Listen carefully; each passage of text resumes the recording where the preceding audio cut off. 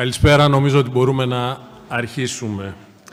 Αξιότιμη εκπρόσωπε του Προέδρου της Κυβέρνησης, Γενική, Γενική Γραμματέα Ανωτά της Εκπαίδευσης, κύριε Ζώρα. Εκπρόσωπε του Μακαριωτάτου Αρχιεπισκόπου Αθηνών και Πάσης Ελλάδος, Πανιερότατε Μητροπολίτη Θαυμακού Ιάκωβε. Αξιότιμη Αντιπρόεδρε της Κυβέρνησης, κύριε Πικραμένε, αξιότιμη εκπρόσωπε του Αρχηγού της Αξιωματικής Αντιπολίτευσης, κύριε φίλοι, αξιότιμες και αξιότιμοι επιτιμή και ενεργεία ανώτατη δικαστική λειτουργή, αξιότιμο πρόεδρε του Δημοτικού Συμβουλίου Αθηνών κύριε Σκιαδά, αξιότιμοι και αξιότιμοι καθηγητές ανωτάτων εκπαιδευτικών ιδρυμάτων, αγαπητές και αγαπητοί συνάδελφοι ακαδημαϊκοί, εκλεκτοί προσκεκλημένοι. Σας καλωσορίζουμε απόψε στη δημόσια συνεδρία εγκατάστασης των νέων αρχών της Ακαδημίας Αθηνών του έτους 2023. Με την ολοκλήρωση της θητείας μου στη θέση του Προέδρου της Ακαδημίας για το έτος 2022, θα προβώ ως ήθιστες στην σημερινή συνεδρία στον απολογισμό του έργου των κέντρων και γραφείων ερεύνης της Ακαδημίας Αθηνών.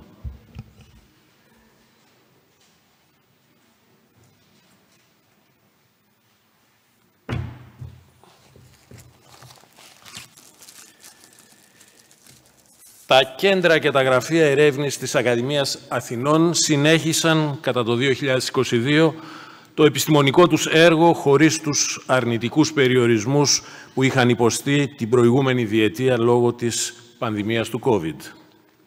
Από τους ερευνητές του Ιδρύματος Ιατροβιολογικών Ερευνών της Ακαδημίας Αθηνών δημοσιεύτηκαν το 2022 270 επιστημονικές εργασίες σε έγκριτα περιοδικά υψηλότατου δίκτυα πύχησης, οι οποίες προσθέθηκαν στις 2.900 ήδη δημοσιευμένες εργασίες τα προηγούμενα έτη.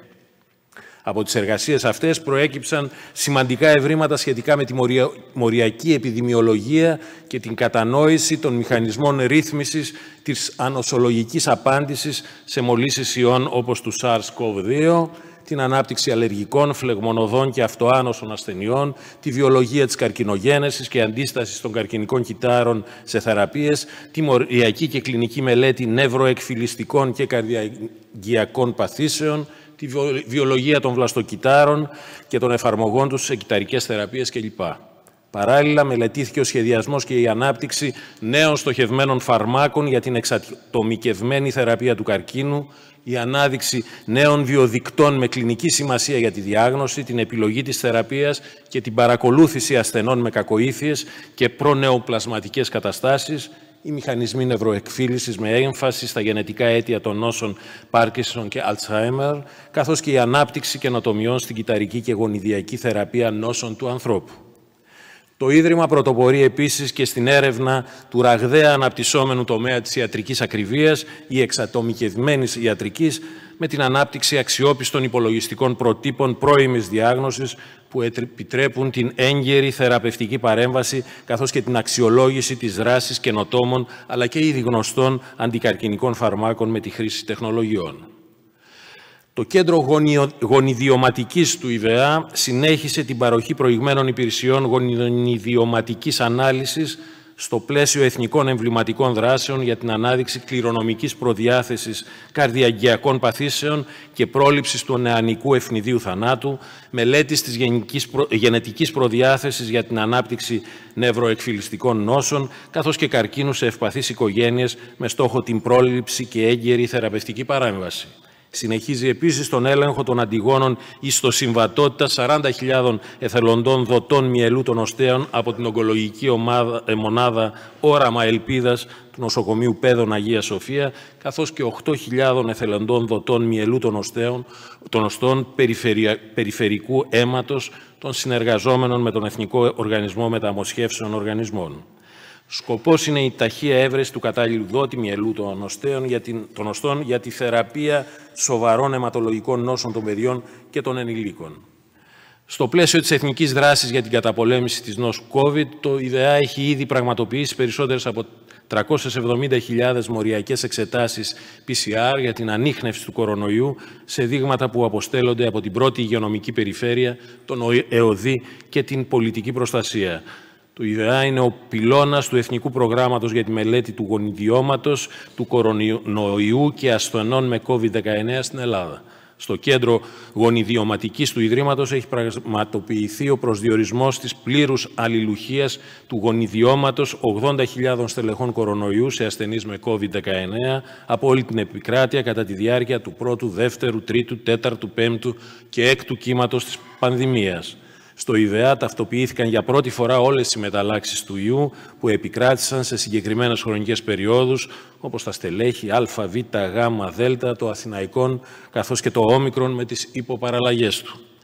Το Σεπτέμβριο του 2022 εγκρίθηκε προκήρυξη για τη διενέργεια της τελικής φάσης του διαγωνισμού για την υποβολή δεσμευτικών προσφορών για τη μέσω ΣΔΙΤ ανέγερση ενός νέου κτηρίου 23.000 τετραγωνικών μέτρων, η οποία συνδέεται με την ουσιαστική ανάπτυξη, την καινοτομία και τη διεύρυνση των ερευνητικών δραστηριοτήτων του Ιδρύματος, που μεταξύ άλλων θα συμβάλλουν καταλητικά στην επιλογή του κατάλληλου φαρμάκου για κάθε συγκεκριμένο ασθενή. Τέλος, ιδιαίτερα σημαντικό είναι και το εκπαιδευτικό έργο του Ιδρύματος. Εδώ εκπαιδεύονται 86 υποψήφιοι φοιτητές για την απόκτηση πτυχίου Μάστερ, 111 υποψήφιοι για την απόκτηση διδακτορικού τίτλου σπουδών και 84 μεταδιδακτορικοί ερευνητές. Η μισθοδοσία και οι ερευνητικές δαπάνες όλων αυτών των φοιτητών και ερευνητών καλύπτονται αποκλειστικά από ίδιους πόρους που προέρχονται από ανταγωνιστικά εθνικά, ευρωπαϊκά και ιδιωτικά ερευνητικά προγράμματα, χωρίς να επιβαρύνεται ο κρατικός προϋπολογισμός. Το κέντρο, το κέντρο Ερεύνης των Νεοελληνικών Διαλέκτων και Ιδιωμάτων ολοκλήρωσε την σύνταξη του τεύχους Β του 7ου τόμου του Ιστορικού Λεξικού της Νέας Ελληνικής, ο οποίος βρίσκεται στη φάση της προετοιμασίας για εκτύπωση από το Εθνικό Τυπογραφείο. Ταυτόχρονα έχει συνάψει μια σημαντική συμφωνία με το μεγαλύτερο σώμα κειμένων της ελληνικής γλώσσας, το Thesaurus Linguae Graecae του Πανεπιστημίου της Καλιφόρνιας, για την ψηφιοποίηση των παλαιών και νέων τόμων του ιστορικού λεξικού και την ηλεκτρονική δημοσίευσή τους σε διασύνδεση με το TLG. Το Κέντρο Ερεύνης των Ελληνικών Διαλέκτων και Ιδιωμάτων συμμετείχε επίσης συνεργατικά σε πρόγραμμα ΕΛΙΔΕΚ με αφορμή το επαιτειακό έτος 1922-2022 και προετοίμασε το τρίτομο ιστορικό λεξικό των ιδιωμάτων της Καπαδοκίας, του οποίου η έκδοση επίσης επίκειται από το Εθνικό Τυπογραφείο και παράλληλα θα προσφέρεται ελεύθερα διαθέσιμο στο διαδίκτυο. Οι ερευνητές του Κέντρου Ερεύνης του Μεσαιωνικού και Νέου Ελληνισμού στο πλαίσιο του συλλογικού προγράμματος «Κοινωνική και πνευματική γεννητικότητα του νέου ελληνισμού, διαδρομές προσώπων ιδεών αγαθών 1204-1821», ε, δημοσίευσαν επιστημονικές μελέτες, συμμετείχαν σε εκλεκτορικά σώματα ακαδημαϊκών κρίσεων, ενώ μετέχουν σε συμβουλευτικές επιτροπές διατριβών υπό εκπόνηση. Το Κέντρο Ερεύνης Ιστορίας του Νεότερου Ελληνισμού συνέχισε διάφορα προγράμματα που εκτελεί με εξωτερική χρηματοδότηση. Πρώτον, ο ξενοφών Ζολότας και η οικονομική ανάπτυξη της Ελλάδας χρηματοδοτείται από την Τράπεζα της Ελλάδος. Το πρόγραμμα Transnational Monetary and Economic Alternatives in the Interwar Politics, ε, χρηματοδοτούμενο από τον ΕΛΙΔΕΚ, σύνταξη ιστορικού λευκόματος της δημόσιας επιχείρησης ηλεκτρισμού, χρηματοδοτούμενο από τη ΔΕΗ, Εξάλλου, υπό έκδοση βρίσκονται ο πρώτος τόμος του χρονολογίου γεγονότων του Δεύτερου Παγκοσμίου Πολέμου από το Αρχείο της Βρετανικής Υπηρεσίας Ειδικών Επιχειρήσεων στην αγγλική γλώσσα και η επανέκδοση του Αρχείου Ανδρέα Λόντου, τόμοι Α και Β με νέα εισαγωγή και σχόλια του Γιώργου Καλπαδάκη. Το Κέντρο Ερεύνηση Ιστορίας του Ελληνικού Δικαίου δημοσίευσε τον 51ο τόμο της επετηρίδας του ως τόμο επαιτειακό από την ίδρυσή του έως σήμερα, συνολικής έκτασης 650 σελίδων. Οι ερευνητές του κέντρου ολοκλήρωσαν επίσης τα εξής ερευνητικά προγράμματα. Η διευθύνουσα το κέντρο ερεύνης, η κυρία Λιδία Παπαρίγα, ολοκλήρωσε τη συγγραφή μελέτης με θέμα Προσπάθειες ανείχνευσης της προοδευτικής συμπλήρωσης του δικαίου, στοιχεία από τις ερμηνευτικές προσεγγίσεις των Βυζαντινών σχολιαστών. Επίσης, στο πλαίσιο του ερευνητικού προγράμματος «Ο αυτόγραφος νομοκάνων νόμιμων του Νοταρίου Θηβών, κριτική έκδοση και αποκατάσταση του αρχικού κειμένου, με την επιμέλεια πέντε επιστημονικών συνεργατών, ολοκληρώθηκε η μεταγραφή του Αθηναϊκού Κώδικα, αριθμός 8 της λογίας εκδοχής του κώδικα, καθώς και η παλαιογραφική μελέτη της ιστορίας του κειμένου του. Ο ερευνητής κ. Αηλία Αρναούτογλου ολοκλήρωσε ερευνητικό πρόγραμμα με τίτλο Από τον Αυτοκράτορα στον Αμυρά των Πιστών Ανθολόγιο Ελληνικών Νομικών Κειμένων της πρώιμης Αραβικής Αιγύπτου, 7ο μέσα 8ο αιώνα μετά Χριστόν. Ο κύριος Ιωάννης Χατζάκης ολοκλήρωσε ερευνητικό πρόγραμμα με τίτλο «Θεραπεύοντας την νομική απόρριψη με τον κοινωνικό ρεαλισμό, παλακίδες και φυσικά τέχνη στην άξο του 17ου αιώνα». Ο κύριος Βασίλειος Αλέξανδρος Κόλιας ολοκλήρωσε ερευνητικό πρόγραμμα με τίτλο «Κανόνες δικαίου σχετικοί με την απονομή δικαιοσύνης σε διακρατικές συνθήκες της μέσης βυζαντινής περίοδου, 11ος-12ος αιώνας». Το Κέντρο Ερεύνησης της Ελληνικής Φιλοσοφίας εξέδωσε τον 51ο της Φιλοσοφίας και την φανταζία φιλοσόφικα της Έλλης Λαμπρίδη. Ολοκλήρωσε τα ερευνητικά προγράμματα, Αριστοτέλους αναλυτικά πρώτερα και τη σχολιασμένη έκδοση με μετάφραση της αριστοτελικής λογικής, κατηγορικής και τροπικής αναλυτικά πρώτερα από τον κύριο Καπάνταη. Το Κέντρο Ερεύνησης Αρχαιότητας συνέχισε την εκτέλεση επιστημονικών προγραμμάτων. Πρώτον, η προϊστορική Ακρόπολη της Βραβρώνας, οι έρευνες των ετών 1950 έως 2001, που είναι έτοιμο για δημοσίευση. Wedding and Genre Iconography in the Classical Period, The Case of the Washing Painter, το πρόγραμμα δημοσίευσης ταφικών συνόλων από την ακρεφία βιωτίας, το πρόγραμμα Women, Children and the Family Beyond Athens, The Oikos Evolving Lives in the Art of Mainland Greece, μελέτη διακοσμημένων αγγείων στο Αρχαιολογικό Μουσείο της Πέλλας, με στόχο τη δημοσίευση στην διεθνή σειρά Corpus Vasorum Antiquorum, μελέτη και δημοσίευση των γλυπτών και των αντίστοιχων βάσεων από το ιερό του Ασκληπιού στη Λισό, μελέτη των γλυπτών του Αρχαιολογικού Μουσείου Σικιώνας, η αρχαιολογική έρευνα στην Ανατολική Φωκίδα, Ελάτια, τη Θωρέα Έξαρχο κατά τον 19ο αιώνα και τις αρχές του 20ου, αρχιακό και αρχαιολογικό υλικό. Η έρευνα του Κέντρου Ερευνών ε, ε, θεωρητικών και εφαρμοσμένων μαθηματικών εστιάζεται στην επίλυση αντίστροφων προβλημάτων στη βιοιατρική, στη μηχανική μάθηση, στο πεδίο της ασυμπτωτικής ανάλυσης, στην ανάλυση ολοκληρώσιμων μερικών διαφορικών εξισώσεων και στις εφαρμογές της ενοποιημένης μεθόδου. Κατά τη διάρκεια του περασμένου έτους δημοσιεύτηκαν από τα μέλη του κέντρου 16 άρθρα σε έγκριτα διεθνή περιοδικά και ένα βιβλίο. Παράλληλα, οι ερευνητές τους συμμετέχουν σε έξι χρηματοδοτούμενα ερευνητικά προγράμματα και έχουν υποβάλει επτά αιτήσεις για χρηματοδότηση σε εθνικούς και ευρωπαϊκούς οργανισμούς. Το Κέντρο Πειραματικής Φυσικής συνέχισε τις ε, εργασίες του στην προαγωγή της επιστήμης και της τεχνολογίας της ενέργειας στην Ελλάδα, την εις μελέτη των ενεργειακών αναγκών της Ελλάδος, καθώς και τις εργασίες του, τις συνεργασίες του με Ακαδημίες Επιστημών χωρών της Ευρωπαϊκής Ένωσης διοργάνωσε η μερίδα της Επιτροπής Ενέργειας της Ακαδημίας Αθηνών με θέμα «Παραγωγή, μεταφορά και αποθήκευση ενέργειας στην Ελλάδα». Εξέδωσε το βιβλίο πρακτικών της ημερίδας της Επιτροπής Ενέργειας της Ακαδημίας Αθηνών με τίτλο «Ενεργειακή αυτοδυναμία της Ελλάδος στο πλαίσιο της Ευρωπαϊκής Πολιτικής για την Ενέργεια» και διαχειρίστηκε το ερευνητικό πρόγραμμα που αφορά στη διενέργεια μελέτης για την απολιγνητοποίηση της Ελλάδας. Το Γραφείο Θεωρητικής και Εφηρμοσμένης Μηχανικής μετήχε και φέτος με την Ελληνική Εταιρεία Θεωρητικής και Εφηρμοσμένης Μηχανικής στη συνδιοργάνωση του υπαριθμών 13 Εθνικού Συνεδρίου Μηχανικής που έγινε στην Πάτρα, καθώς και στην προετοιμασία του Γερμανοελληνικοπολωνικού Συμποσίου που θα γίνει το προσεχές έτος στο Μόναχο.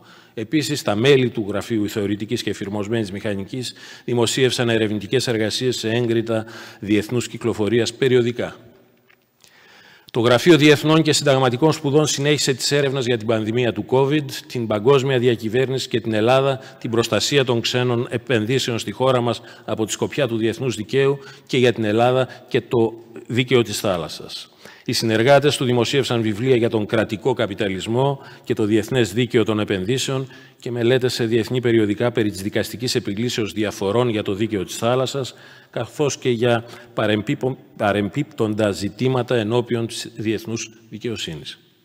Το Κέντρο Λαογραφίας εκτελεί ερευνητικά προγράμματα εκτός από τα συναχιζόμενα και νέα όπως ιστορική και εθνογραφική έρευνα στο Ηράκλειο Κρήτης με στόχο την καταγραφή και αξιοποίηση της κοινωνικής και οικονομικής διάστασης, ειδικότερα των προϊόντων της αμπελουργίας και της ελεουργίας, με χρήση τεχνολογιών εχμής, σε συνεργασία με το Ινστιτούτο Πληροφορικής του ΙΤΕ και του Δήμου Ηρακλείου, ένα ευρωπαϊκό διακρατικό πρόγραμμα Dance as Intangible Cultural Heritage, New Models of Facilitating Participatory Dance Events, events εκπόνηση μουσιολογικής μελέτης για τη δημιουργία του Μουσείου Κυθυραϊκής Μετανάστευσης στην Αγία Πελαγία Κυθύρων και προφορική ιστορία και καθημερινός πολιτισμός της Ηλιούπολης. Οι επιστημονικές έρευνες του Κέντρου Ερευνών ε, Αστρονομίας και Εφηρμοσμένων Μαθηματικών διεξήχθησαν στο πλαίσιο 22 προγραμμάτων, 5 εκ των οποίων χρηματοδοτούνται από εθνικούς και διεθνείς οργανισμούς, 11 υποστηρίζονται από πανεπιστημιακά και ερευνητικά ιδρύματα του εξωτερικού, ενώ 6 είναι μη χρηματοδοτούμενα. Κατά το 22 δημοσιεύθηκαν ή είναι υπό εκτύπωση 44 εργασίες από τα μέλη του ερευνητικού προσωπικού του κέντρου σε έγκριτα διεθνή επιστημονικά περιοδικά με κριτές, καθώς και 7 εργασίες σε πρακτικά διεθνών συνεδρίων και ειδικούς τόμους. Εκδόθηκε επίσης ο τόμος «Νεότερες εξελίξεις στην αστρονομία 2021» με 8 ερευνητικές εργασίες στα ελληνικά. Κατά το 22 από τους ερευνητές του Κέντρου Έρευνας της Βυζαντινής και Μεταβυζαντινής Τέχνης προωθήθηκαν τα ερευνητικά προγράμματα που αφορούν στην επιτόπου καταγραφή και τη μελέτη βυζαντινών και μεταβυζαντινών τυχογραφιών και εικόνων μολυβδοβούλων αξιωματούχων βυζαντινών θεμάτων, αρχαιολογικών καταλήπων και υπαίθριων, κυρίως σύγχρονων γλυπτών και ιστορικών επιγραφών. Από το κέντρο εκδόθηκαν επίσης το βιβλίο Παναγιώτης Βοκοτόπουλος, εικόνες και εικονογραφία, 50 μελετήματα και τακτικών Studies on the Prosopography and Administration of the Byzantine θέματα, 900 σελίδων. Κατά το 22, οι ερευνητές του Κέντρου Ερεύνης της Ελληνικής Κοινωνίας, παράλληλα με τη συμμετοχή τους σε συνέδρια, ημερίδες και ερευνητικά προγράμματα, δημοσίευσαν εντός και εκτός της Ακαδημίας πλειάδα άρθρων γύρω από θέματα του επιστημονικού τους τομέα. Το 2022 επίσης συνεχίζεται η δεύτερη φάση του ερευνητικού προγράμματος του Κέντρου Ερεύνησης Επιστημονικών Όρων και Νεολογισμών για την αναβάθμιση του, ηλεκτρικού του ηλεκτρονικού περιβάλλοντος του κέντρου με ενσωμάτωση προηγμένων υπολογιστικών τεχνικών κατά την ήμι αυτόματη συλλογή καταγραφή δεδομένων από μεγάλες συλλογές κειμένων με έμφαση στην κειμενική ταξινόμησή τους βάσει της τεχνητής νοημοσύνης. Στο τελικό στάδιο προετοιμασίας βρίσκεται και ο νέος τόμος του Δελτίου Επιστημονικής Ορολογίας και Νεολογισμών, ο οποίος περιέχει καταλόγους νεολογισμών, περίπου 1.500 νέες λέξεις, που διαθέτουν πολλαπλή τεκμηρίωση και υποστήριξη από στατιστικά δεδομένα. Το Κέντρο Ερεύνης Φυσικής της Ατμοσφαίρας και Κλιματολογίας συμμετείχε σε 16 ανταγωνιστικά ερευνητικά προγράμματα. Στο πλαίσιο των προγραμμάτων αυτών εργάστηκαν στο κέντρο 9 συνεργαζόμενοι νέοι ερευνητές. Το κέντρο συμμετείχε στην εκπόνηση 14 άρθρων σε υψηλή στάθμη επιστημονικά περιοδικά με κριτές, πραγματοποίησε 34 παρουσιάσεις σε διεθνή επιστημονικά συνέδρια, 8 παρουσιάσεις σε εθνικά επιστημονικά συνέδρια και 16 ομιλίες. Το κέντρο συνεχίζει την επιστημονική υποστήριξη της συντονιστικής ομάδας εργασίας της Διεθνούς Πρωτοβουλίας της Ελλάδας για την προστασία της πολιτιστικής κληρονομιάς και των μνημείων της φύσης από τις επιπτώσεις της κλιματικής αλλαγής, η οποία έχει συμπεριληφθεί στις εμβληματικές δραστηριότητες του ΟΗΕ και έχει υποστηριχθεί από περισσότερες από 100 χώρες. Σε αυτό το πλαίσιο και μετά την υπογραφή ειδικού πρωτοκόλου συνεργασίας μεταξύ του Ελληνικού Ανοιχτού Πανεπιστημίου και της Ακαδημίας Αθηνών, το κέντρο συμμετέχει στη διενέργεια σχετικού μεταπτυχιακού προγράμματος σπουδών, το οποίο βρίσκεται στο δεύτερο έτος λειτουργίας. Το κέντρο επίσης συνέβαλε στη δημιουργία του United Nations Global Climate Hub υπό την αιγίδα του ΟΗΕ με στόχο την άμεση αποφασιστική δράση για τη μείωση των επιπτώσεων της κλιματικής αλλαγής μέσω της παροχής επιστημονικών συμβουλών οι οποίες παρέχονται από εμπειρογνώμονες προερχόμενους από διάφορους τομείς για τη δημιουργία και εφαρμογή σχετικών σχεδίων δράσης αναχώρα. Κλείνω κατά τη διάρκεια του έτους 22 το Γραφείο Διαστημικής Έρευνας και Τεχνολογίας της Ακαδημίας Αθηνών ηγήθηκε της ομάδας διοργάνωσης και τέλεσης του 44ου Διεθνούς Συνεδρίου Διαστημικών Επιστημών COSPAR Athens 2022 με συμμετοχή πέραν των 2.700 ομιλητών το οποίο διεξήχθη με απόλυτη επιτυχία για πρώτη φορά στην Ελλάδα από τις 16 έως τις 24 Ιουλίου του 2022. Επίσης, το γραφείο αυτό συνέχισε την συνεργασία με το Applied Physics Laboratory του Πανεπιστημίου Johns Hopkins των Ηνωμένων Πολιτειών στην αποστολή των διαστημοπλοίων Voyager με χρηματοδότηση από την NASA. Στο πλαίσιο του εν λόγω προγράμματος, το Γραφείο Διαστημικής Έρευνας και Τεχνολογίας δημοσίευσε περισσότερες από 10 επιστημονικές μελέτες σε διεθνή επιστημονικά περιοδικά με κριτές, μία εκ των οποίων στο περιοδικό Science. Επιπλέον, συμμετείχε ενεργά στον σχεδιασμό της μελλοντικής διαστρικής αποστολής Interstellar Probe, η οποία μελετάται από την NASA και διοργάνωσε πλήθος επιστημονικών ομάδων σε διεθνή συνέδρια. Αυτή ήταν η δραστηριότητα, κυρίες και κύριοι, των κέντρων και γραφείων ερεύνησης της Ακαδημίας Αθηνών κατά το 2022. Ευχαριστώ.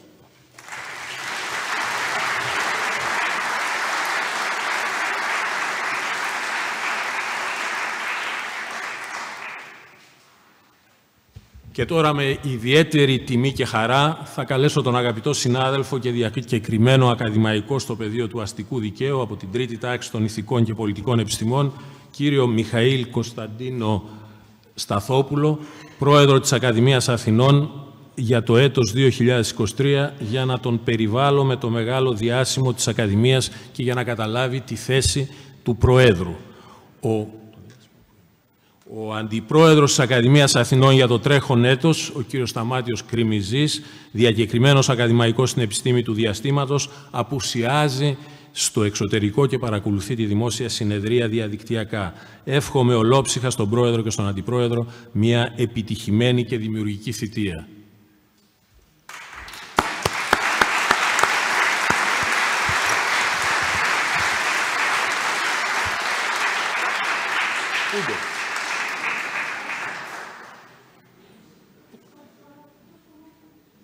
αυτό που φορά, υπάρχει αλλού. Εγώ ευχαρίστως να παραχωρήσω το δικό μου. Υπάρχει το δικό μου. Υπήρχε άλλο.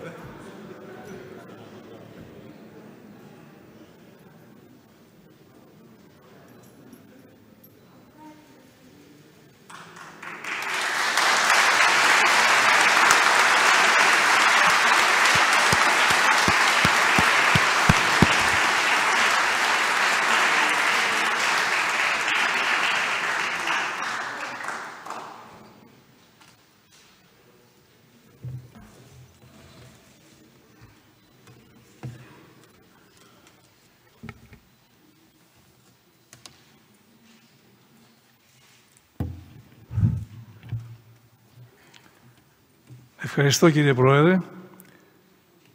Ε, αξιότιμε εκπρόσωπε του Πρωθυπουργού, αξιότιμε αντιπρόεδρε της κυβέρνησης, σεβασμιότατε εκπρόσωποι του Αρχιεπισκόπου,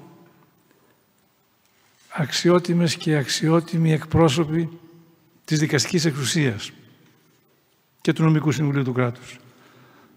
Της δικαστικής εξουσίας ε, στην οποία αναφέρεται το μεγαλύτερο μέρος της σημερινής ομιλίας. Αγαπητές και αγαπητοί συνάδελφοι, κυρίες και κύριοι, ε, η δικαστική εξουσία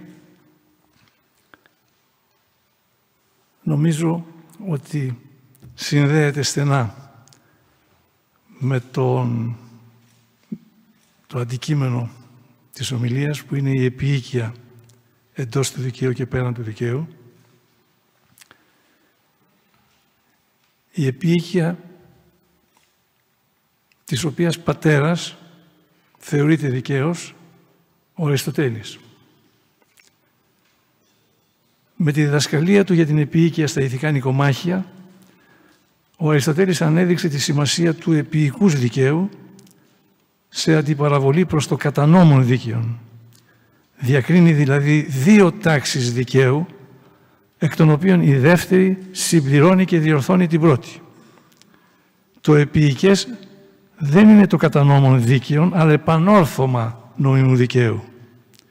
Δίνει δε ρητά το προβάδισμα στο επίοικες δίκαιο με τη διάσημη φράση του «Ταυτόν άρα δίκαιων και επίοικες και αμφίν σπουδαίην όντιν είναι διοικός αριθμός, ενώ και τα δύο είναι σπουδαία, κρίτον το επίοικες. Είναι αυτό που καλύπτει το έλλειμμα του γεγραμμένου νόμου. Επεξηγείται ότι τούτο συμβαίνει διότι ο νόμος περιέχει γενικούς κανόνες, πράγμα που σημαίνει ότι δεν μπορεί να προβλέψει όλες τις περιπτώσεις εφαρμογής που μπορεί να προκύψουν. Δεν θα αρκούσε όπως προσθέτει ο Αριστοτέλης στη ρητορική, ούτε αιώνας για να απαριθμηθεί από τον νομοθέτη κάθε περίπτωση που έχει ανάγκη ρύθμισης. Τη θεωρητική αυτή διάκριση του Αριστοτέλη μεταξύ δύο τάξεων δικαίου τη συναντούμε σε εφαρμογή τώρα, λίγους αιώνες αργότερα, στο Ρωμαϊκό Δίκαιο. Τον κύριο κορμό του Ρωμαϊκού Δικαίου αποτελούσε το «ιους civile» ή «ιους civile». Ήδη όμως από την προκλασική περίοδο του Ρωμαϊκού Δικαίου διαμορφώθηκε μια χωριστή τάξη δικαίου, το «ιους pretorium», το οποίο απένεμαν οι πρέτορες στηριζόμενοι στην έκβητας, την επίοικια δηλαδή, και βάσει αυτής συμπλήρωναν ή και διόρθωναν το γιους civile. Στη νεότερη εποχή συναντούμε την αριστοτέλεια διάκριση δύο τάξεων δικαίου στην Αγγλία, όπου έως τα τέλη του 19ου αιώνα, παράλληλα προς τον βασικό κορμό του δικαίου, το common law, κοινό δίκαιο, αναπτύχθηκε, αναπτύχθηκε το δίκαιο της επιοίκειας, law of equity, και μάλιστα ως χωριστή τάξη δικαίου για την οποία υπήρχε χωριστή δικαιοδοσία, την οποία ασκούσε ειδικό δικαστήριο, το Court of Chancery. Οι εξελίξεις όμως οδήγησαν σταδιακά στην ενσωμάτωση του επίοικους δικαίου στο ενιαίο πλέον δίκαιο. Έτσι, στο Ρωμαϊκό δίκαιο από την εποχή των αυτοκρατόρων, δηλαδή από τον Αύγουστο και μετά, έπαυσε η διάπλαση του δικαίου από τους πρέτορες, τούτο δε διότι την ουσιαστική νομοθετική εξουσία επιφύλασαν πλέον για τον εαυτόν τους οι ίδιοι οι αυτοκράτορες, εκδίδοντας τις αυτοκρατορικές διατάξεις. Δινόταν όμως και στους μεγάλους τότε Ρωμαίους νομομαθείς το δικαίωμα του γνωμοδοτήν, ius respondendi, ιδίως όταν αυτοί κατήχαν υψηλά κρατικά αξιώματα. Οι εκδιδόμενες γνωμοδοτήσεις αναγνωρίζονταν ως υποχρεωτικές όπως ο νόμος. Οι έκβητας και μαζί της οι ηθικές αρχές που τη διαπνέουν είχαν όμως ήδη εισέλθει στο ενιαίο πλέον ρωμαϊκό δίκαιο και ενισχύθηκαν στη συνέχεια ιδίως στη Βυζαντινή περίοδο με την επίδραση της χριστιανικής διδασκαλίας. Ανάλογη και ταχύτερη ενσωμάτωση του law of equity στο common law σημειώθηκε στην Αγγλία. Από τα τέλη του 19ου αιώνα οι αρχές της equity εφαρμόζονται πλέον από όλα τα δικαστήρια και όχι πια μόνο από τα courts of chancery. Αυτή η ενσωμάτωση ισχύει κατά βάση σήμερα, διεθνώς, αλλού λιγότερο, αλλού περισσότερο, ισχύει δε και στο ελληνικό δίκαιο, το οποίο μάλιστα ήταν έκπαλε και είναι και σήμερα διαποτισμένο με αρχές και κανόνες επιοίκειας που αμβλύνουν την αυστηρότητα των ειδικών κανόνων, όπως θα δούμε στη συνέχεια. Αλλά τι ακριβώς σημαίνει σήμερα στη σημερινή ελληνική ένωμη τάξη; Η επίοικια. Τι εννοούμε με την επίοικια. Είναι το επίοικες δίκαιο. Θα πρέπει πρωτίστως να διευκρινιστεί ότι το επίοικες δίκαιο δεν αντιλαμβάνεται την επίοικια υπό τη στενή έννοια της συγκατάβασης, της υποχώρησης από τη δίκαιη και αμερόληπτη μεταχείριση του δέκτη της επίοικιας, για λόγους ευμένειας ή χαριστικής διάθεσης, ίσως από ανάγκη, από ήκτο ή από ε, εσπλαχνία, συμπόνια ή παρόμοια συναισθήματα. Όχι. Το επίοικες δίκαιο αντίθετα τηρεί το σωστό μέτρο δικαιοσύνης με τρόπο ακριβοδίκαιο. Αλλά μπορεί όταν χρειάζεται να καθιστά υπιότερους τους αυστηρούς ή άκαμπτους κανόνες. Είναι μη αυστηρό δίκαιο, δηλαδή εύκαμπτο με την έννοια ότι μπορεί να προσαρμόζεται στις διαφορετικές για κάθε περίσταση ανάγκες και συνθήκες. Εκφράζει τελικά αυτό που υπαγορεύει η περί δικαιοσύνης συνείδηση. Οι έννοιες, οι έννοιες της επίοικιας και της δικαιοσύνης, της έκβητας και της ιουστίτσια, δεν είναι απλώς αλληλένδετες, αλλά νοηματικά ταυτίζονται. Αρκεί να αντιλαμβάνεται κανείς τη δικαιοσύνη με την ουσιαστική της έννοια. Επίοικια σημαίνει ουσιαστική δικαιοσύνη. Δικαιοσύνη απαλλαγμένη από αυστηρότητα και τυπολατρεία. Είναι γιους έκβουμ. Σε αυτό το εύρος θα πρέπει να αντιληφθεί κανείς σήμερα την έννοια της επίοικιας ως νομική έννοια. Έννοια που καλύπτει όλον το χώρο ο οποίος δεν ανήκει στο αυστηρό δίκαιο. Το ιους strictum. Το έργος αυτό είναι μεγαλύτερο από αυτό που αντιλαμβανόταν με την επίοικια Αριστοτέλης. Σε αυτήν την επίοικια πρέπει σήμερα να κατατείνει το δίκαιο για να είναι γιούστουμ γιούς. Δεν έδωσα ορισμό της δικαιοσύνης ως επίοικιας. Την περιέγραψα απλώς. Γιατί όπως έγραψε ο δάσκαλος του Αριστοτέλειου Πλάτων, η δικαιοσύνη είναι αγαθό καθεαυτό. Δικαιοσύνη αυτή δι' αυτήν. Δηλαδή δεν αντλεί την αξία της από κάτι άλλο. Θα λέγαμε είναι έννοια αυτοοριζόμενη. Έτσι και η επίοικια. Αλλά αυτή είναι η μία μεγάλη αξία του δικαίου. Υπάρχει και μια άλλη σπουδαία αξία. Είναι η ασφάλεια του δικαίου. Το δίκαιο αποβλέπει και στη σταθερότητα και βεβαιότητα των κανόνων του. Δικαιοσύνη και ασφάλεια δικαίου αποτελούν τις δύο μεγάλες αξίες τις οποίες υπηρετεί, πρέπει να υπηρετεί το δίκαιο. Υπάρχουν ρυθμίσεις από τις οποίες συνάγεται ότι ο νομοθέτης θέλησε να τις διαμορφώσει με τεχνική ακρίβεια και χωρίς αποκλήσεις έτσι ώστε οι ενδιαφερόμενοι να μπορούν να επαφεθούν σε αυτές. Αλλά χωρίς την επίοικια το δίκαιο μπορεί να καταλήξει να είναι άδικο. Σούμουμ γιους, σούμα γιούρια. Σήμερα και τα δύο αυτά αγαθά αποτελούν επιταγές της ένομης τάξης. Η συμπόρευσή τους και στο μέτρο που χρειάζεται η συμβιβαστική εναρμόνισή τους συνιστά βασική αποστολή του δικαίου. Τελικά πάντως πιστεύω ότι μπορούμε να σεβαστούμε και σήμερα το Αριστοτέλειο αμφίν σπουδαίν όντιν κρίτων το επίοικες.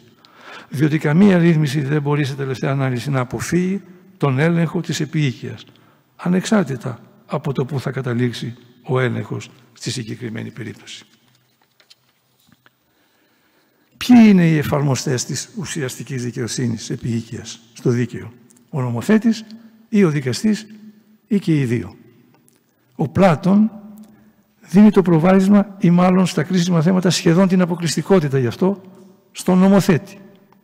Διδάσκει ότι πρέπει να κυβερνούν την πόλη και να νομοθετούν οι άριστοι των πολιτών που είναι ενάρετοι και δίκαιοι και αυτοί είναι οι φιλόσοφοι. Αν δεν βασιλεύουν στις πόλεις οι φιλόσοφοι ή αν οι βασιλείς και άρχοντες δεν φιλοσοφούν γνησίωστε και ικανός, αν δηλαδή δεν συμπίπτει η πολιτική δύναμη με τη φιλοσοφία, δεν θα μπορεί να υπάρξει για την πόλη τέλος των δεινών της. Σημαντικό ρόλο για τους δικαστές δεν προβλέπει ο Πλάτων. Τους επιφυλάσσει κυρίως την απονομή της ποινικής δικαιοσύνης, ιδίως την επιβολή ποινών.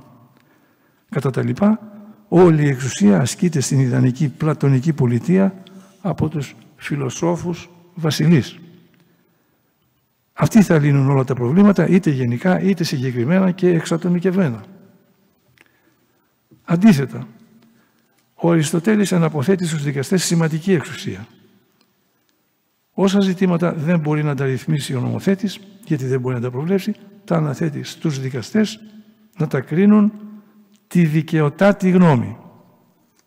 Ο δικαστής επανορθώνει και αδικίες του νόμου συνιστάμενες σε ανισότητες το άδικον άνισον ον επανισεί ο δικαστής.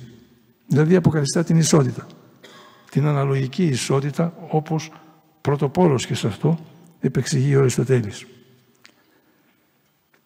Η ένομη τάξη μας, αλλά και οι ένομες τάξεις των περισσότερων δυτικών δημοκρατιών, είναι στο θέμα αυτό περισσότερο αριστοτελικές παρά πλατωνικές.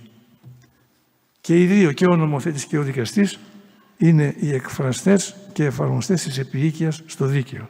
Αλλά υπηρετούν τη δικαιοσύνη με διαφορετικό καθένας τρόπο. Ο νομοθέτης υπηρετεί τη γενικεύουσα δικαιοσύνη, θεσπίζοντας κανόνες γενικούς, δίκαιους για όλους, όπως οφείλει, χωρίς ατομικά προνόμια και δυσμενείς διακρίσεις. Ο δικαστής αντίθετα υπηρετεί την εξατομικεύουσα δικαιοσύνη, εφαρμόζοντας σε συγκεκριμένες περιπτώσεις τους νόμους και λύνοντας κατά τρόπο δίκαιο για αυτός, όπως οφείλει, κάθε ατομική περίπτωση. Συχνά όμως η αναζήτηση του εφαρμοστέου κανόνα είναι δυσχερής ή περίπλοκη. Τότε χρειάζεται να ασκήσει ο δικαστής κατά τρόπο δημιουργικό τις αρμοδιότητές του, δηλαδή να ασκήσει τη λεγόμενη δικαιοπλαστική εξουσία καθώς διαπλάσει δίκαιο συμπληρώνοντας ή και διορθώνοντας το έλλειμμα του γραπτού νόμου. Τότε μιλάει η εξουσία αυτή του δικαστή η οποία διευρύνει τα περιθώριά του να εφαρμόζει εξατομικευμένα την ουσιαστική δικαιοσύνη και επίοικια. Βασική περίπτωση άσκησης δικαστικής δικαιοπλαστικής εξουσίας, δικαιοπλασίας όπως λέγεται μονολεκτικά, συντρέχει όταν ο δικαστής διαπιστώνει κενό δικαίου. Ο δικαστής δεν μπορεί να ανησυχήσει, πρέπει να πληρώσει κατά κάποιο τρόπο το κενό.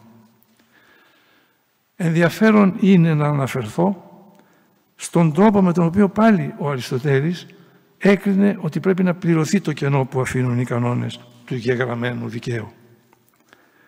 Το έλλειμμα αυτό του νόμου θα πρέπει να επανορθωθεί, διδάσκει ο Σταγυρίτης, με όμοιο τρόπο όπως θα έπρατε και ο ίδιος ο νομοθέτης αν επρόκειτο να κρίνει την ίδια περίπτωση.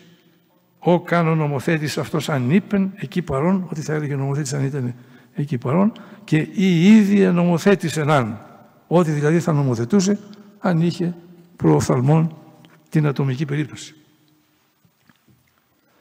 Περισσότερο από 23 αιώνες αργότερα, ο Ελβετικός Αστικός Κώδικας του 1927 επανέλαβε στο άρθρο 1, δηλαδή στο πρώτο άρθρο του κώδικα, ακριβώς το ίδιο. Διάταξη που ισχύει και σήμερα. Προβλέπει συγκεκριμένα ότι για τη λύση των νομικών ζητημάτων εφαρμόζονται πρώτα οι ρητές διτάξεις του νόμου, αν αυτές δεν υπάρχουν εφαρμόζεται το εθιμικό δίκαιο και αν και αυτό ελείπει, ο δικαστής θα αποφασίζει σύμφωνα με τον κανόνα που ο ίδιος ως νομοθέτης θα έθετε. Η ταυτότητα των δύο διατυπώσεων που τις χωρίζουν χιλιετίες καταπλήσει έγραψε ο Γεώργιος Μαριδάκης, καθηγητής στο Αθήνηση και ακαδημαϊκός. Δεν είναι γνωστό αν ο συντάκτης του Ελβετικού Αστικού Κώδικα, ο Ίγεν Χούμπε, γνώριζε τη σχετική περικοπή του Αριστοτέλη. Ερμηνευτής πάντως της εποχής εκείνης, ονόματι Ράιχερ, έγραψε λίγα χρόνια μετά την δημοσίευση του Ελβετικού Κώδικα το εξής. Ο αρχαιότερος όλων και επίσης ο πλέον, πλέον σύγχρονος όλων κανόνας είναι αυτός τον οποίο διατύπωσε ο αρχαίος δάσκαλος Αριστοτέλης, Derat Meister Αριστότελης, και ανανέωσε ο Ελβετικός αστικός κώδικας. Όταν συντασσόταν ο ελληνικός αστικός κώδικας, τη δεκαετία του 1930, ο Μαριδάκης, που ήταν ένας από τους συντάκτες του αστικού κώδικα, πρότεινε να περιληφθεί όμοια διάταξη και στον ελληνικό αστικό κώδικα. Αλλά η πρότασή του δεν έγινε δεκτή. Θεωρήθηκε προφανώς τολμηρή. Και πολύ αργότερα ο Μαριδάκης έγραψε «Η εκ του βάθους των αιώνων αντιχούσα φωνή του Αριστοτέλους μα την έπλητε τα ότα του συγχρόνου Έλληνος νομοθέτου».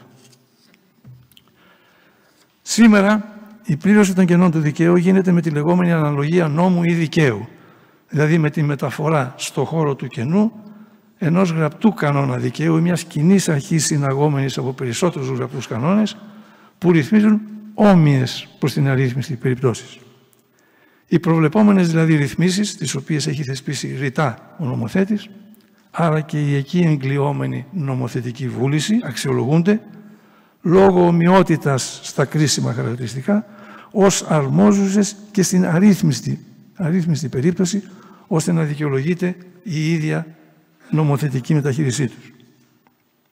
Μήπως στην ουσία κρίνεται και κρίνει ο δικαστής που εφαρμόζει την αναλογία ότι αυτήν την μεταφερόμενη ρύθμιση θα θέσπιζε ο νομοθέτης και για την αρρύθμιστη περίπτωση αν την είχε προβλέψει ο νομοθέτης αν είπεν εκεί παρόν. Μήπως επομένως η αριστοτέλεια μέθοδος πλήρωσης του κοινού πλήττει έστω ανεπιγνώστος τα ότα του σύγχρονου ερμηνευτή, του σύγχρονου δικαστή. Αλλά εδώ θα πρέπει να κάνω μια διευκρίνηση για να μην νομιστεί ότι υποστηρίζω να εφαρμόζουμε και σήμερα ό,τι είχε πει ο Αριστοτέλης. Σήμερα η πλήρωση, όπως την εξήγησα, του κοινού όπως την εξήγησα, γίνεται με πληρέστερη και λιγότερο υποθετική θεμελίωση και αιτιολογία και άρα πιστικότερη από ό,τι η Αριστοτέλεια πρόταση. Έχει γίνει πρόοδος από τότε, μεγάλη πρόοδος στην νομική επιστήμη. Αλλά οι συνήθεις περιπτώσεις άσκησης δικαιοπλαστικής εξουσίας του δικαστή, η οποία όπως ε, τόνισα, του διανοίγει ευρύτερα περιθώρια εφαρμογής της επιοίκειας, συντρέχουν ιδίως πέρα από την περίπτωση των κενών, δηλαδή κατά την κυρίως ερμηνεία του νόμου. Θα αναφερθώ στα πέντε σημαντικότερα κατά τη γνώμη μου πεδία άσκησης αυτής της ερμηνευτικής εργασίας του δικαστή, τα οποία θα διανθίσω και με λίγα παραδείγματα, τα οποία παραδείγματα μιλούν μάλλον πιο εύγλωτα από τη θεωρία για τη δικαιοπλαστική εξουσία του δικαστή. Πρόκειται για τις περιπτώσεις όπου κυρίως αναδεικνύεται ανάγλυφη η εξουσία αλλά και η ευθύνη του δικαστή. Πρώτη και βασική πύλη εισόδου της επιοίκειας του δίκαιο είναι εκείνες οι αρχές δικαίου οι οποίες θεσπίζονται με τις γενικές ρήτρες που προβλέπει η νομοθεσία μας. Πρωτοπόρος αυτό είναι ο αστικός μας κώδικας που με μεγαλύτερη τόλμη από ό,τι κώδικες άλλων χωρών της εποχής της σύνταξής του, σύμφωνα άλλωστε με την παράδοση του ελληνικού δικαίου, καθιέρωσε τέτοιες ρήτρες. Δεν υπερβάλλει ο ιστορικός του δικαίου Νικόλαος Πανταζόπουλος, ήταν καθηγητής του Αριστοτέλειου, όταν επισημαίνει ότι οι γενικές ρήτρες αποτελούν τη σπονδυλική στήλη του εθνικού μας δικαίου. Με τις γενικές ρήτρες είναι που κυρίως εισάγονται στο ελληνικό δίκαιο αρχές δικαιοσύνης και ηθικής. Οι κυριότερες είναι η γενική ρήτρα της καλής πίστης, δηλαδή της εντιμότητας και ευθύτητας που πρέπει να τηρούνται στην ερμηνεία και στην εκπλήρωση των υποχρεώσεων, η γενική ρήτρα της απαγόρευσης της κατάχρησης δικαιώματος, η γενική ρήτρα που επιτάσσει την, την τήρηση των χρηστών ηθών και πολλές άλλες. Υπάρχουν πάμπολες περιπτώσεις άσκησης δικαιοπλαστικής εξουσίας από τα δικαστήρια με έρισμα ιδίως την αρχή της καλής πίστης, που πράγματι αποτελεί βασικό μέσο για να εισχωρήσει περισσότερη δικαιοσύνη στις συναλλαγές, να προστατευτεί ο ασθενέστερος συναλλασσόμενος και εν γέννη να εφαρμοστούν στην πράξη αξίες όπως η αρχή της ίσης μεταχείρισης, η ουσιαστική ικανοποίηση του συμβατικού σκοπού και άλλες. Για λόγους οικονομίας χρόνου δεν θα αναφέρω εδώ παραδείγματα και θα προχωρήσω στη δεύτερη δυνατότητα να διαποτιστεί το δίκαιο με περισσότερη δικαιοσύνη. Εδώ θα πω και παραδείγματα.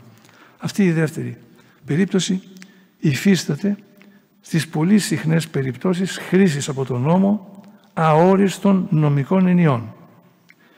Πρόκειται για έννοιες που λόγω της γενικότητάς τους αφήνουν στον ερμηνευτή, τελικά στο δικαστή, περιθώρια προσαρμογής στις ανάγκες της κρινόμενης συγκεκριμένης περίπτωσης, προσαρμογής ανταποκρινόμενης στο αίτημα της δικαιοσύνης. Θα αναφέρω δύο παραδείγματα. Το πρώτο αναφέρεται στην αόριστη νομική έννοια το συμφέρον του τέκνου.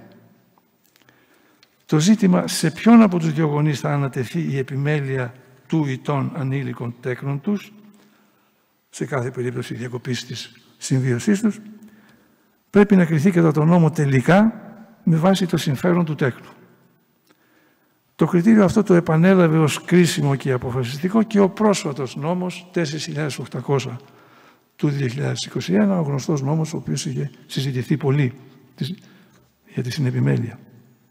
Που ορθώς ο νόμος αυτός ενίσχυσε περισσότερο την πάντως γνωστή και υπό το προηγούμενο δίκαιο άσκηση συνεπιμέλειας και από τους δύο χωρισμένους γονείς, δηλαδή την ανάθεση της επιμέλειας του τέκνου και στους δύο γονείς από κοινού. Από την πλούσια νομολογία των πρωτοδικείων μετά την εφαρμογή του νόμου αυτού του 2021 θα αναφέρω ενδεικτικά δύο αποφάσεις που έκριναν το ζήτημα αν θα πρέπει για να εφαρμοστεί η κοινή επιμέλεια και των δύο γονέων στο κρίσιμο και ακαθόδε ζήτημα του καθορισμού από αυτούς της διαμονής του τέκνου αν θα πρέπει να γίνει χρονική κατανομή της με εναλλασσόμενη διανομή του τέκνου. Δηλαδή με την έννοια της διαμονής του τέκνου για ένα χρονικό διάστημα στην κατοικία του ενός γονέα και το επόμενο στην κατοικία του άλλου.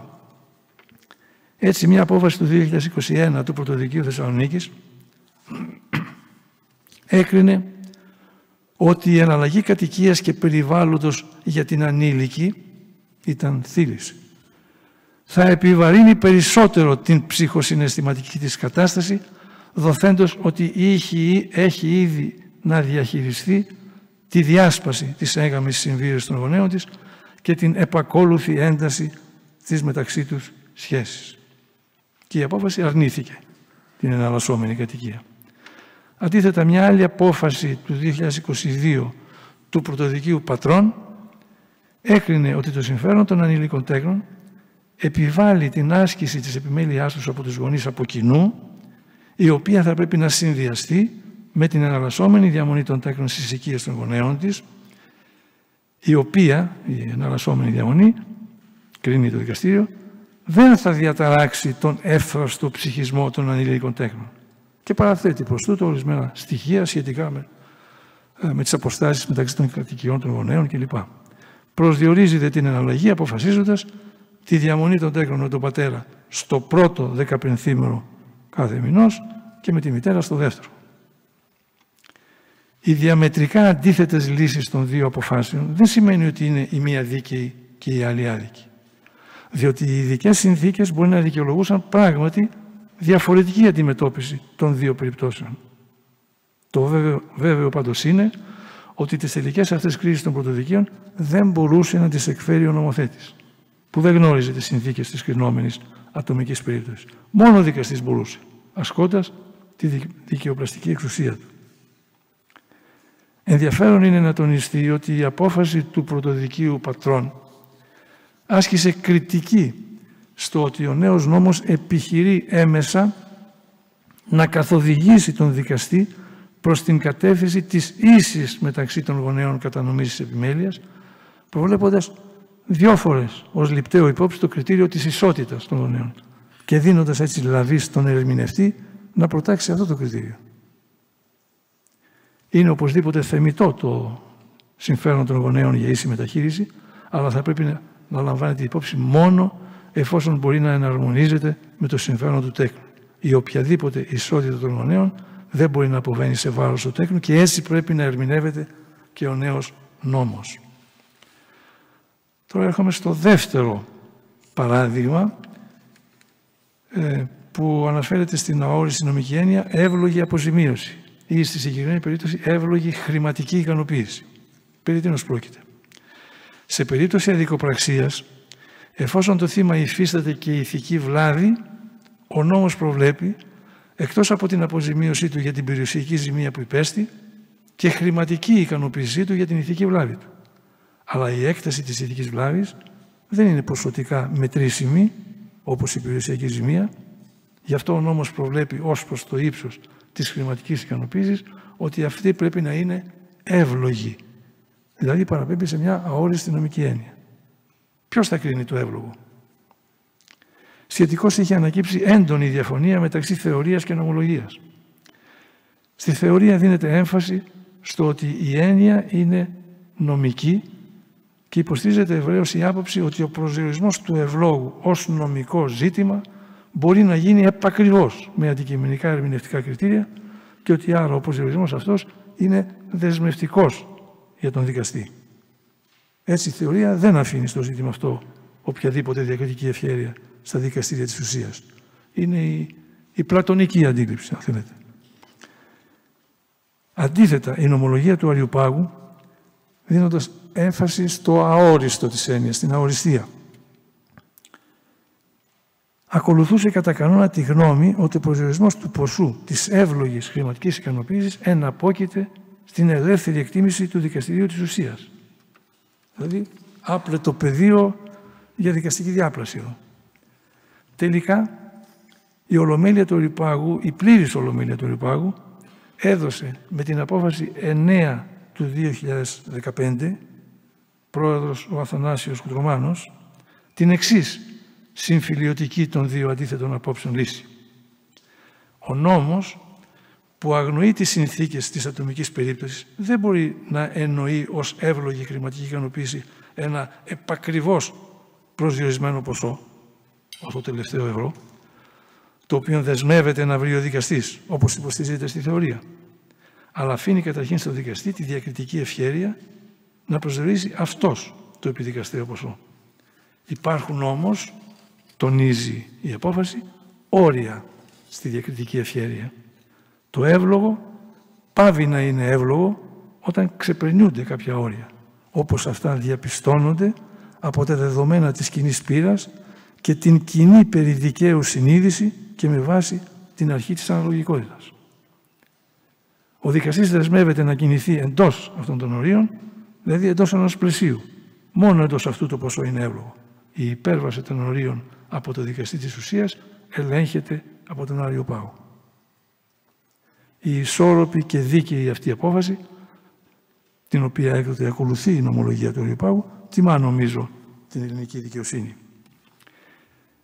Έρχομαι τώρα στο τρίτο πεδίο εφαρμογής δικαστικής δικαιοπλασίας, που συνιστά μάλιστα την ευρύτερη πύλη εισόδου της επιοίκειας στο δίκαιο. Πρόκειται για την τελολογική ερμηνεία των κανόνων δικαίου. Και είναι η ευρύτερη διότι αφορά την ερμηνεία όλων των κανόνων δικαίου.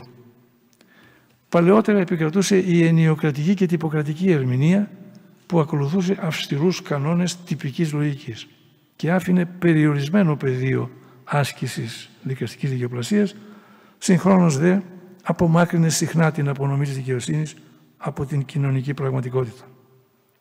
Κατά την τελολογική αντίθετα μέθοδο, το τελικά καθοριστικό κριτήριο ερμηνείας είναι ο σκοπός της διάταξης, το τέλος με την αρχαιοελληνική έννοια του όρου, δηλαδή την έννοια της τελικής αιτίας, του τελικού σκοπού του νόμου και όχι η διατύπωσή της. Η αυστηρότητα του γράμματος υποχωρεί στο δηλωτικό του σκοπού πνεύμα το οποίο θα ανέβει ο δικαστής ώστε να εξυπηρετηθεί ο σκοπός του νόμου κατά τον δικαιότερο δυνατό τρόπο και σύμφωνο με την επίοικια. Γιατί όπως είχε πει ο Αριστοτέλης στη ρητορική αυτή τη φορά, επίοικες είναι και το μη προς τον λόγον, αλλά προς την διάνοια του νομοθέτη, του νομοθέτου σκοπίν. Να αποβλέπουμε δηλαδή όχι στα λόγια του νομοθέτη, αλλά στο πνεύμα. Θα προσθέσω και μία ενδιαφέρουσα, νομίζω, γενικότερη παρατήρηση για την τελολογική ερμηνεία. Με αφετηρία το ότι μέσω αυτής ο δικαστής μπορεί να διορθώνει τις ατέλειες του νόμου, ο, ο Αλέξανδρος Λιτζερόπουλος, που μετά τον Κωνσταντίνο Τριανταφυλόπουλο πρωτοπόρο της τελολογικής ερμηνείας στην Ελλάδα, έχει συμβάλει και αυτός κέρια στην καθιέρωση της τελολογικής ερμηνείας, έγραψε το εξής ο εφαρμοστής των νόμων έχει ως κατευθυντήριον γραμμή την εκμέευση της λύσεως την οποία και ο ίδιος ο νομοθέτης θα περιέβαλε δια της νομοθετικής κυρώσεως αν εκαλεί να νομοθετήσει καθήν εποχήν πρόκειται να αποδοθεί το δίκαιο. Άρα κατά του Λιζερόπουλο η Αριστοτέλεια πρόταση για την πλήρωση των κενών παρέχει σκέψη γενικότερης σημασίας ισχύουσα κατά κάποιο τρόπο και στη λυπή πέρα από την πλήρωση των κενών δικαστική διάπραση του δικαίου. Όλα αυτά δείχνουν τη δύναμη που έχει ο δικαστής και την ευθύνη παράλληλα. Έρχομαι στο τέταρτο πεδίο άσκησης δικαστικής δικαιοπλασίας που είναι η περίπτωση όπου δικαιώματα και μάλιστα και συνταγματικής περιοπής, συνταγματικώς κατοχυρωμένα δικαιώματα βρίσκονται σε σχέση έντασης ή και σύγκρουσης μεταξύ τους. Τυπική περίπτωση τέτοιας σύγκρουσης είναι η αντίθεση μεταξύ ατομικών ελευθεριών αφενός και κοινωνικών δικαιωμάτων αφετέρου. Η νομολογία του Συμβουλίου Επικρατείας προσφέρει πολλά παραδείγματα δικαστικής δικαιοπλασίας όπου με εφαρμογή γενικών αρχών του δικαίου, ιδίως της αρχής της αναλογικότητας, δίνεται το προβάδισμα άλλοτε στις ελευθερίες του ατόμου και άλλοτε στην κοινωνική ευθύνη του. Για λόγους οικονομίας χρόνου θα αναφέρω μόνο ένα παράδειγμα. Το πιο πρόσφατο, ίσως και το πιο επίκαιρο. Η απόφαση της Ολομέλειας του Συμβουλίου Επικρατείας 1684 του 2022, πρόεδρος ο Δημήτριος Καλτσούνης, έκρινε αίτηση της Πανελλήνιας Ομοσπονδίας Εργαζομένων Δημοσίων Νοσοκομείων της ΠΟΕΔΗΝ για ακύρωση των πράξεων της διοίκησης που επέβαλαν τον υποχρεωτικό εμβολιασμό των υγειονομικών κατά του COVID-19 με απειλή σε περίπτωση άρνησης εμβολιασμού της αναστολής των κατοικών τους.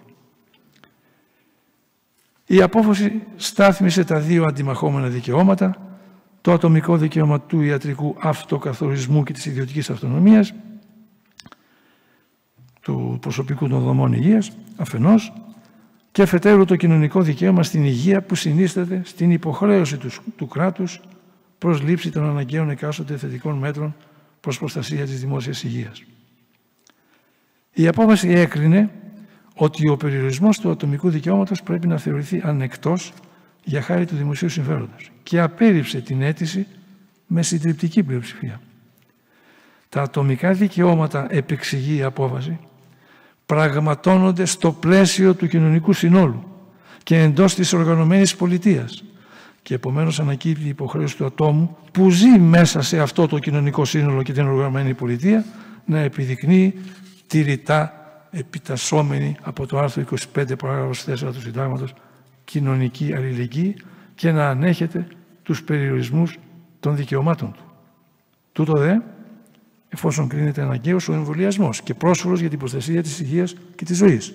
Προς τούτο, η απόφαση επικαλείται τα επιστημονικά και επιδημιολογικά δεδομένα και με εμπεριστατωμένη αιτιολογία καταλήγει στο ότι ο εμβολιασμός διασφαλίζει περισσότερα ωφέλη παρά κινδύνους που είναι υπαρκτή και τους παραθέτει η απόφαση και τους κινδύνους, καθώς, προσθέτει, οι κίνδυνοι είναι πολύ μικρότεροι από την πραγματική βλάβη μιας ολόκληρης κοινωνίας στην οποία δεν χρησιμοποιείται το εμβόλιο.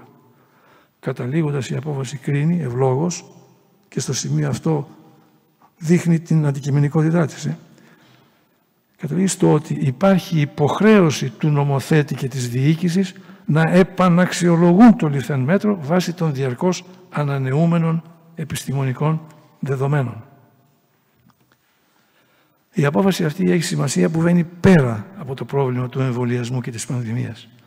Αντιμετωπίζει το μέγα συνταγματικής και ηθικής περιοπής πρόβλημα των ορίων των συνταγματικών ελευθεριών, ορίων τα οποία επιβάλλει η επίσης στο Σύνταγμα προβλεπόμενη κοινωνική ευθύνη των πολιτών. Ε, δεν μπορώ παρά να επενέσω το ανώτατο διοικητικό δικαστήριο της χώρας για την απόφαση αυτή, η οποία πιστεύω θα αποκτήσει ιστορική αξία. Έρχομαι στο τελευταίο πεδίο άσκησης δικαστικής δικαιοπρασίας που αφορά ρυθμίσεις οι οποίες προκαλούν δυσεπίλητες ερμηνευτικές δυσχέρειες ιδίως όταν χαρακτηρίζονται από ασάφεια, έλλειψη πληρότητας της ρύθμισης και φαίνεται να δημιουργούν ένα αδιέξοδο. Η Ακαδημία Αθηνών έχει γνωρίσει τέτοιες περιπτώσεις που κατέληξαν στα δικαστήρια. Στο ρωμαϊκό δίκαιο ο δικαστής μπορούσε να πει «res mihi non liquet». Ε, αυτή η υπόθεση μου είναι ασαφής, δεν με φωτίζει. Είναι οι γνωστές περιπτώσεις του non liquid, όπου ο δικαστής, ο Ρωμαίος δικαστής μπορούσε να μην εκδώσει απόφαση. Σήμερα όμως, υπό το ισχύον δίκαιο, δεν δικαιολογείται ανησυχία, αλλά ο δικαστής καλείται να ασκήσει τη δικαιοπλαστική του εξουσία. Όπως έγραφε ο Κωνσταντίνος Τριανταφυλόπουλος, ο δικαστής δεν μπορεί να περιμένει τον νομοθέτη για να διορθωθεί η ασφαλμένη ή χασματώδης διάταξης. Χασματώδης, δηλαδή παρουσιάζει χάσματα. Είναι υποχρεωμένος να προβεί μόνος στην διόρθωση. Να και εδώ πεδίο δόξης λαμπρών για τη δικαστική διάπλαση. Η προσφυγή από το δικαστή με δημιουργική ερμηνεία σε γενικές αρχές του δικαίου, ενδεχομένως σε προηγούμενη νομολογία, σε άλλα κριτήρια αντλούμενα από την ένωμη τάξη, μπορεί να δώσει τη διέξοδο στο πρόβλημα. Σε αυτές τις περιπτώσεις, ο δικαστής πρέπει να έχει, όπως οφείλει όταν ασκεί το υψηλό λειτουργήμά του, το θάρρος και την αποφασιστικότητα και να διαθέτει βέβαια ευρύτητα πνεύματος, ώστε να μην καταλήγει σε προσκολλημένες στο γράμμα του νόμου και ουσιαστικά άδικες αποφάσεις. Τότε, αντί να απονέμει δικαιοσύνη, απονέμει τυπολατρεία. Ασκώντας αυτή την εξουσία ο δικαστής δεν θα κρίνει με βάση τις υποκειμενικές του αντιλήψεις το προσωπικό του αίσθημα δικαίου ή το αίσθημα της κοινής νόμης, δεν μπορεί να διαπλάσει δίκαιο καταβούληση, θα πρέπει να στηρίζεται στα αντικειμενικά κριτήρια που προσφέρει η ένωμη τάξη. Δεν τοποθετείται πάνω από τον νόμο, αλλά δεσμεύεται από τις αξιολογήσεις που περιέχονται σε αυτόν. Αρκεί βεβαίως να χαρακτηρίζεται επιπροσθέτως και από σύνεση και ψυχραιμία, απαλλασσόμενος από οποιαδήποτε συναισθηματική φόρτιση που ενδεχομένως διακατέχει τους διαδίκους ή την κοινή γνώμη για τη δικαζόμενη υπόθεση. Ε, κυρίες και κύριοι, αυτές οι τελευταίες σκέψεις αποτελούν και το συμπέρασμα για τον σημαντικό ρόλο που έχει ο δικαστής στην εφαρμογή της επίοικιας στο δίκαιο και για τις προϋποθέσεις που απαιτούνται προς τούτο από πλευράς δικαστών. Υπάρχουν δικαστικές αποφάσεις άτολμες μπροστά σε διατάξεις ασαφείς και χασματώδεις κατά την ωραία τριανταφυλοπούλια διατύπωση, αλλά η σημερινή εκδήλωση δεν προσφέρεται για να αναφέρω τέτοια παραδείγματα. Θα σημειώσω μόνο αυτό που είπε, που είχε επισημάνει ο Λιζερόπουλος για τις, εξαιρετικές, τις όλος εξαιρετικές περιπτώσεις παρέκκλησης του δικαστή από το ορθόν δίκαιον, όπως έγραψε. Οπότε τότε, λέει ο Λιζερόπουλος, θα ειδύνατο να επέμβει ο νομοθέτης προς κατάπαυση της σημειωθήσης παρεκτροπής του δικαστηρίου εφ' εξής. Προσέξτε, εφ' εξής το διευκρινίζω, δεν θα, ε, θα μπορεί ο νομοθέτης ε, επεμβαίνοντας να ανατρέψει το δεδικασμένο, αλλά μπορεί μόνο να ρυθμίσει το ζήτημα για τις μελλοντικές ένομες σχέσεις.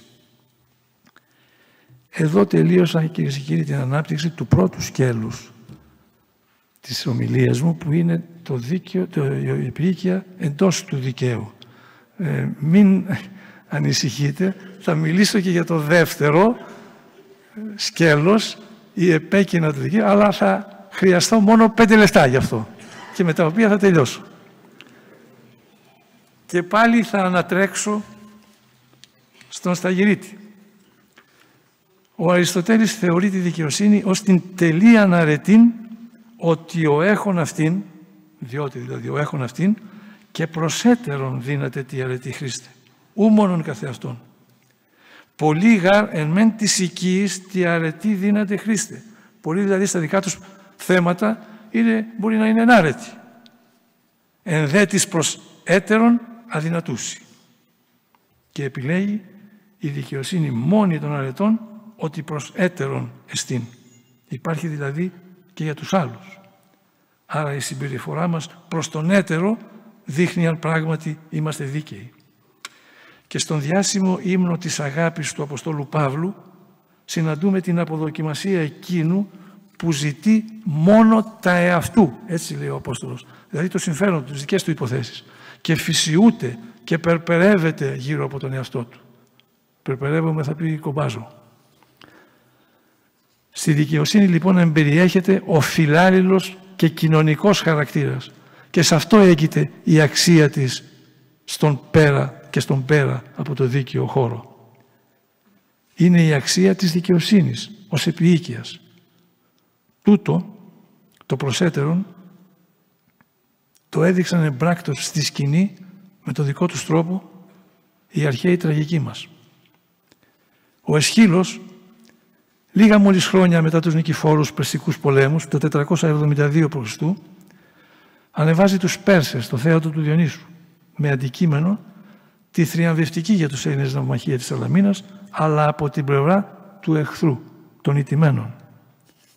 Στα στόματά τους έβαλε ο ποιητής την περιγραφή των γεγονότων.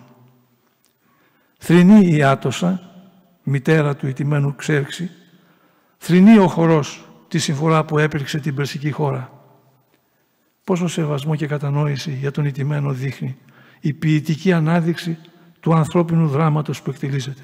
Η παρουσίασή του ενώπιον των δικαιολογημένα υπερήφανων για τους πολεμικούς τριάγους τους Αθηναίων κατά εκείνων που τους ονόμαζαν βαρβάρους. Η κατανόηση του άλλου γίνεται ύμνος και στις τροάδες του Ευρυπίδη. Η τραγωδία αυτή ανέβηκε το 415 π.Χ μεσφρούτος του Πελοποννησιακού πολέμου.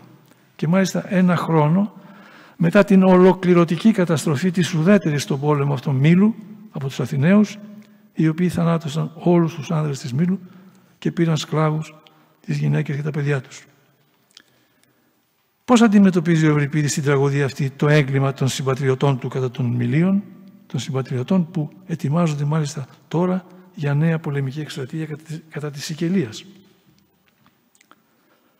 με έμεσο τρόπο ελέγχει τη σύγχρονη του πολιτική της Αθήνας παρουσιάζοντας το δράμα των γυναικών των γυναικών των ιτημένων από τους Αγίους Τρώων μετά την άλωση της Τρίας. Φέρνει κοντά στον θεατή τον θρήνο της Εκάβης, την έκσταση της Κασάνδρας, τον πόνο της Ανδρομάχης που δεν έχασε μόνο τον άντρα της, τον Έκτορα, αλλά βιώνει και την αρπαγή του παιδιού της, του αστιάνακτα, την αρπαγή από την αγκαλιά της για να το σκοτώσουν κατακριμνίζοντάς το από τα τείχη της Τρίας στην πιο συγκλονιστική στιγμή του έργου. Απομυθοποιεί έτσι ο Ευρυπίδης στα μάτια των Αθηναίων τη δόξα και τον θρύλο των νικητών της Τρίας των Αχαιών, υποκινώντας τη συνείδησή τους για τα όσα οι ίδιοι τώρα, οι ίδιοι τώρα έπραταν ή σχεδίαζαν. Έρχομαι τώρα στην καταληξή μου και επανέρχομαι βέβαια στον πεζό, μη ποιητικό λόγο.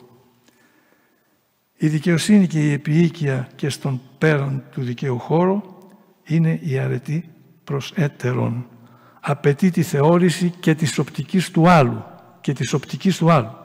Όχι αναγκαίως για να την δεχθούμε, αλλά για να την κατανοήσουμε. Και η θεώρηση αυτή σημαίνει βέβαια περαιτέρω, αν παραστεί ανάγκη, αν χρειαστεί, και στήριξη του άλλου. Σημαίνει αυτό που επιτάσσει η διάταξη του συντάγματός μας όταν αξιώνει από όλους τους πολίτες την εκπλήρωση του χρέους της κοινωνικής αλληλεγγύης. Η δίκαιη αυτή συμπεριφορά του πολίτη, του ατόμου γενικότερα, αφορά όλες τις σχέσεις του, τις προσωπικές, τις κοινωνικές, ακαδημαϊκές, επαγγελματικές, συναδελφικές, προς υφιστάμενο, προς προϊστάμενο, τις πολιτικές σχέσεις, αλλά και τις διακρατικές, διεθνείς, διαπολιτισμικές, διαθρησκευτικές και όποιες άλλες ανθρώπινες, ατομικές ή συλλογικές σχέσεις. Σας ευχαριστώ για την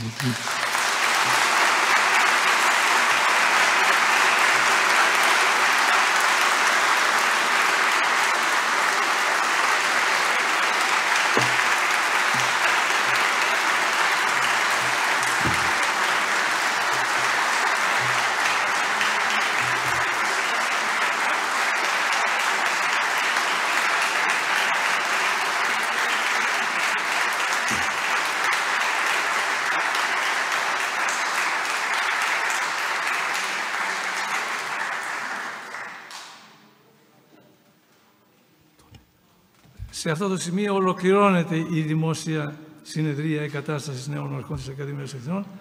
Ευχαριστώ θερμά όλους σας, ε, αξιωματούχους και μη, για την τιμή που μας κάνατε να παρευρεθείτε και να παρακολουθήσετε την απόψινή συνεδρία και εύχομαι σε όλους μια καλή και δημιουργική χρονιά με υγεία.